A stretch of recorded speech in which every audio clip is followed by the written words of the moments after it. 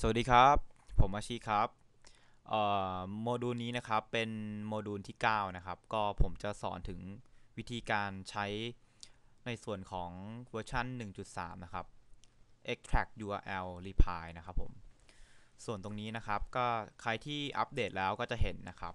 extract URL reply คืออะไรนะครับ ก็คือ extract URL reply ก็คือว่าถ้าสมมตินะครับ ท่านนะครับ ต้องการที่จะหาลิงก์ที่เกี่ยวกับสินค้าหรือบริการของท่านนะครับ ก็ตัวซอฟต์แวร์นะครับ จะทำการหาลิงก์ให้นะครับ คือ หลังจากที่ท่านได้โพสต์ไปนะครับ ท่านจะมีลิงก์อยู่ใช่ไหมครับ เช่นผมเนี่ยครับไปแล้วนะครับ อันนี้คือโพสต์ของผมนะครับ อันนี้คือที่ผมโพสต์ไปนะครับผม แต่ extract URL reply เนี่ยครับ คือผมจะไปดึงโพสต์ของของท่านอื่นมานะครับ ก็จะเกี่ยวกับสินค้าหรือว่าบริการนะครับทำไมต้องไปดึงของท่านอื่นมานะครับ เพราะว่าอย่างแรกเลยนะครับ ลิงก์พวกนี้นะครับ มันมันติดใน Google แล้วนะครับผม วิธีการที่ท่านไปดึงมานะครับ แล้วท่านทำการที่จะโพสต์ในในส่วนของ reply ด้านล่างในส่วนตรงนี้นะครับ แล้วท่านก็ใส่ keyword ลิงก์กลับไปที่เว็บไซต์ท่านนะครับ เนี่ยนะครับ อันนี้คือโพสต์ที่เขาโพสต์มาตั้งแต่วันที่ 22 ตุลาแล้ว ซึ่งมันค่อนข้างจะมีคุณภาพมากนะครับ วิธีการก็คือว่าท่านหาลิงก์พวกนี้นะครับ ท่านทำการ reply เข้าไปแล้วก็ใส่ hyperlink นะครับ เป็นเป็นของตัวเองนะครับ แล้วก็ลิงก์ไปที่เว็บท่านนะครับ วิธีการเขียน reply เนี่ยค่อนข้างจะ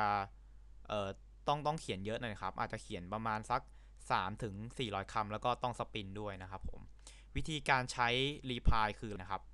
คือให้ท่านเปิดโปรแกรมขึ้นมานะครับ กดไปที่ tool นะครับ extract URL reply นะครับ หลังจากนั้นนะครับ ใส่คีย์เวิร์ดของท่านลงไปนะครับ เช่น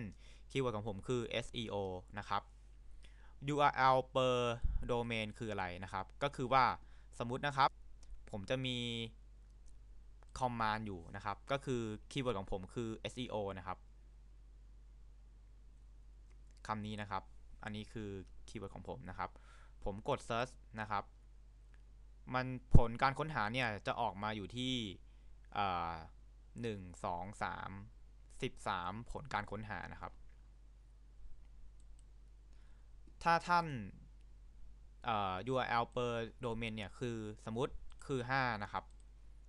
ในส่วนตรงนี้นะครับ ซอฟต์แวร์จะทำการเก็บ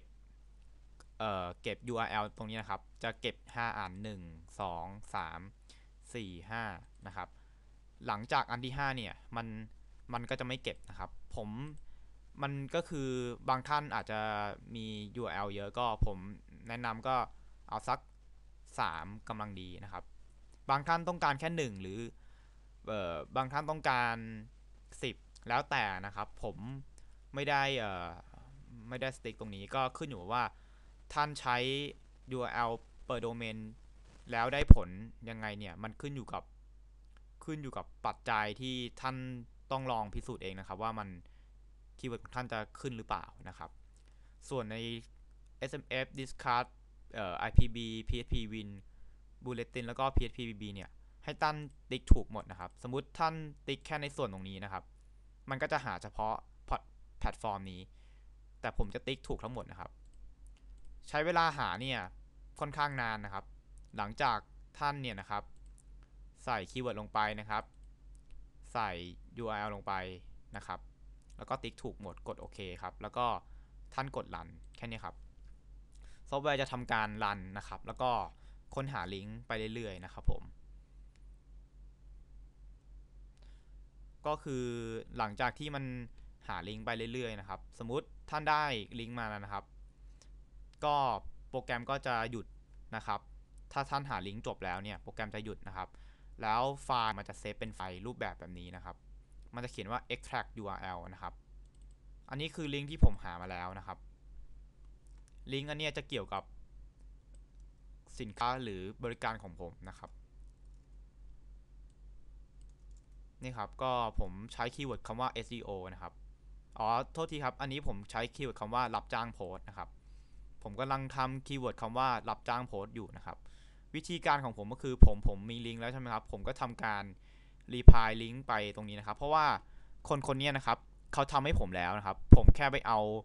URL ของเขามาแล้วก็ reply ไปนะครับ เนี่ย ผมแนะนำนะครับให้ท่านทำคีย์เวิร์ดแบบนี้นะครับ แบบนี้นะครับ แล้วก็ลิงก์ไปที่เว็บไซต์ของท่าน ต้องการจะลิงก์คำไหนก็ใส่เข้าไปได้เลยครับผมนะครับ อันนี้นะครับโปรแกรมกำลังเก็บ URL อยู่นะครับ เดี๋ยวผมจะ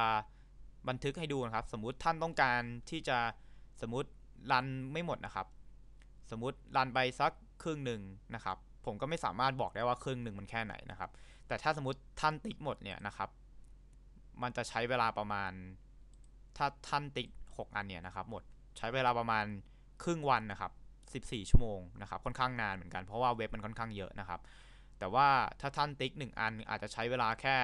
2-3 ชั่วโมงนะครับก็ลองดู แต่สมมติท่านต้องการที่จะเอาทั้งหมดนะครับ ก็ปล่อยให้โปรแกรมมันรันไป แต่ถ้าสมมติใครต้องการที่จะเซฟเลย แล้วก็ดูลิสต์รายชื่อก็กดแสดงรายชื่อเว็บไซต์นะครับ มันจะบันทึกข้อมูลลงนะครับ แล้วก็จะบอกชื่อเว็บว่าตอนนี้มีเว็บเว็บไซต์ไหนบ้างนะครับ ที่ทำการเซฟเข้ามาแล้วนะครับ อันนี้คือโชว์เว็บไซต์นะครับ แล้วก็ตัวแวร์เนี่ยจะทำการทำการสร้างไฟล์ขึ้นมานะครับ ไฟล์ก็คืออยู่ที่ extract ใช่ไหมครับ นี่นะครับ ไฟล์นี้ตะกี้นี้ครับ อันนี้นะครับก็คือที่ที่ผมหามา โปรแกรมมันจะรันไปเรื่อยๆนะครับ วิธีการก็คือหลังจากท่านนะครับ ได้ในส่วนของ reply มาแล้วนะครับ ก็ไปที่ true นะครับ แล้วก็ไปที่ในส่วนของ extract URL reply ครับ ติ๊กอันนี้ออกให้หมดนะครับ เราจะทำการ reply กันนะครับ ติ๊กออกให้หมดก่อนนะครับ แล้วท่านก็มาที่ true dashboard reply นะครับ กด reply นะครับ แล้วก็ชื่อเว็บไซต์นะครับ ก็คือ link extract ตะกี้นี้นะครับ ก็คือลิงก์ลิงก์นี้นะครับผมครับผม ก็อันนี้แต่ว่าในส่วนของตรงนี้นะครับ ผมได้ทำการหามาแล้วนะครับ มีอยู่ที่ 24K นะครับ ก็ผมจะทำการ reply นะครับ ท่านก็ใส่เนื้อหาของท่านลงไปนะครับ ท่านกดโอเค แล้วก็กดรันได้เลยนะครับ ก็ผมแนะนำนะครับ อย่างแรกนะครับ ให้เขียนเนื้อหาเนี่ยนะครับ เนื้อหานะครับ มากกว่า 300คำนะครับ บวกบวก spin ด้วยนะครับ บวกกับ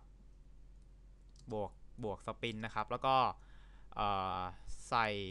คีย์เวิร์ดนะครับ ที่ต้องการ